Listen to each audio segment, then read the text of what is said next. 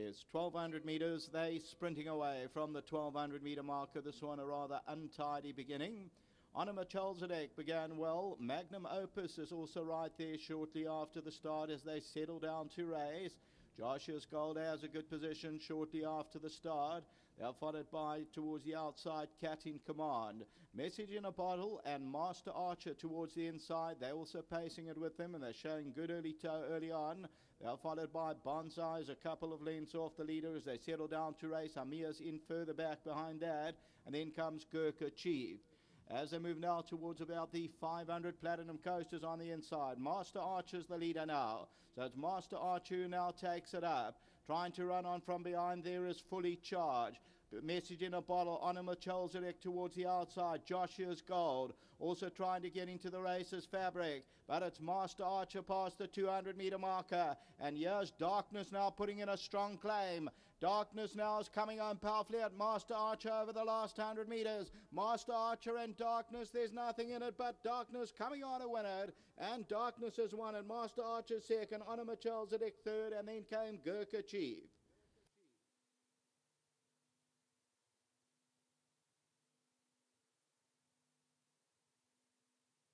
Well, if you're backing on omens today, the first race was bright shining, the second race was darkness. Could have taken a very nice double, and uh, this son of Toreador, still on the big side, but very impressive was darkness. Sean Cormack, Dennis Dreyer for Haug and Blank, and they end up winning it, bred by the Alchemy, and one easier in the end than the margin suggests. So number six is victorious. Second goes to number 12, Master Archer beaten that three parts or a length. Then number two, Anima Chelzarek runs into third position. And the fourth position, that goes to Gurkha Chief. That's number three from number one, Fabric. That is exactly how it's looking at Clairwood today. And it was a really strung out field. You see a couple of horses obviously not acting in the conditions, so they were stretched out many lengths. But Master Archer, the leader, and Darkness now gets into the race and then runs on really powerfully to end up winning uh, a bit cozily at the business end by about a length and a quarter. The race time that has flashed up is 7 I, comma 5 3. Just a reminder to take note. Third race, next race up. Also up the straight, starts off the place accumulator, back to the studio.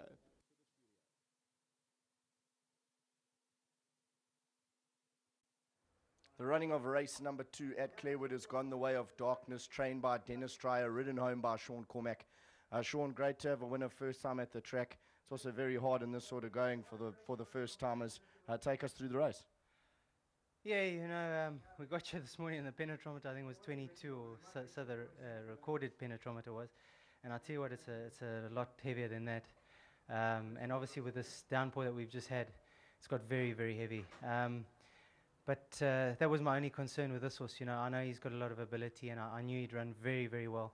Um, but you know, when you've got this sort of these conditions, you don't know how they're going to perform. But he just did. He was an absolute professional. He went down to the start like he'd been here three times. He uh, jumped out. He was a little bit slow. He was in behind them, and he just travelled and just did everything right. Got a split and then uh, quickened up really well through. Uh, he, he, ran. He ran like an old horse, and uh, just obviously thank you very much to the owners and, uh, you know, and obviously to the boss in Cape Town and to Stu. He's been doing the work while we've been in Cape Town. And uh, just, yeah, thank you to them.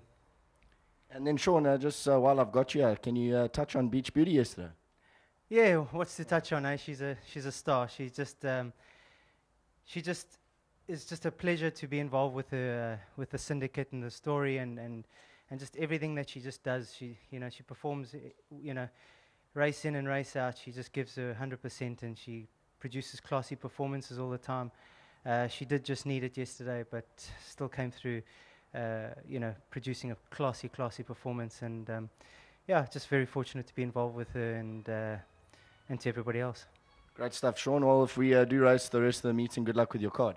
Yeah, let's just see how it goes. You know, it's still coming down and. Um, uh, yeah, I've got a few more chances, and uh, I just want to say thank you to my sponsor, Highlands. They're doing a great job. Thank you. Great stuff. Good luck. Let's get through, Stu. Careful there, Stu. Oh, it's a bit wet out, eh? Yeah, going bad. Yeah, going's bad, even inside, yeah. Stu, take us through this one. Yeah, no, like Sean said, you know, he's obviously a really nice horse, and uh, uh, you know, you know, he won a really good race today. Uh, anything else for the day? Yeah, listen, well, if we get there, I think um, Red Label and next year must have a seems good chance. Your first run wasn't bad, and then. Um, Tipo and the filly in the last, uh, they you know they they well and uh, you know they won't mind the going, but uh, we'll see. Just you know, obviously very well done to Canute and Greg, and good luck to Dennis. 100%. Congratulations. If you wouldn't mind passing on uh, our congratulations to the owners and to Dennis. Well, do thanks. Thanks, Stu. There we've seen the running of uh, race two go the way of darkness. Congratulations to Dennis Dreyer, to Sean Cormack, and to the owners. We're going to need the Ninja Turtles to save us from this weather. Hopefully, we get through some more racing.